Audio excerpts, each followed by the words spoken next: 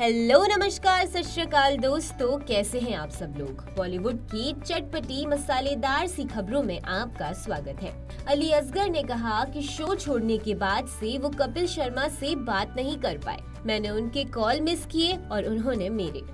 जी हाँ आपको बता दें कि एक्टर कॉमेडियन अली असगर ने एक नए इंटरव्यू में कपिल शर्मा के साथ अपनी इक्वेशन के बारे में बात की। बता दें कि अली ने साल 2017 में कपिल के लोकप्रिय comedy show, the Kapil Sharma show को छोड़ दिया और क्रिएटिव डिफरेंसेस को इसका कारण बताया।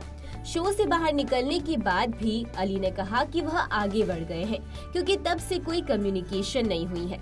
अली, द कपिल शर्मा शो का एक लोकप्रिय हिस्सा थे। शो में वे नानी और दादी के रूप में दिखाई दिए। उन्होंने उस समय शो छोड़ दिया जब कपिल ने सुनील ग्रोवर के साथ अपने झगड़े की खबर सामने लाई। अली के मुताबिक, उन्होंने अपने किरदार का दायरा न देख पाने पर शो छोड़ दिया। बता दे, कपिल शर्मा के साथ अपने बंधन के बारे में पूछे जाने पर अली ने कहा, कई बार मैं उनका कॉल मिस करता था और वह मेरी कॉल मिस करते थे।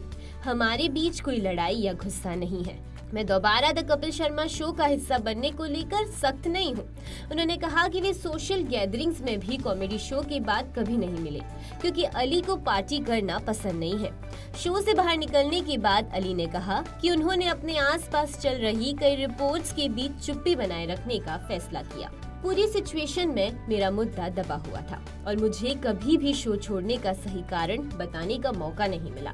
साथ ही अली ने ये भी कहा कि यह उन्हें परेशान करता है, जब लोग एक बहुमुखी अभिनेता के रूप में उनके काम को नजरअंदाज कर देते हैं और केवल उनके क्रॉस ड्रेसिंग पात्रों को याद करते हैं, जैसे कि कॉमेडी नाइट से एक। उन्होंने कहा, अब मेरे वो सभी क्रॉस ड्रेसिंग किरदार लोगों की जहन में है तो ये मुझे थोड़ा परेशान करता है, ये मेरी गलती है। कैसे?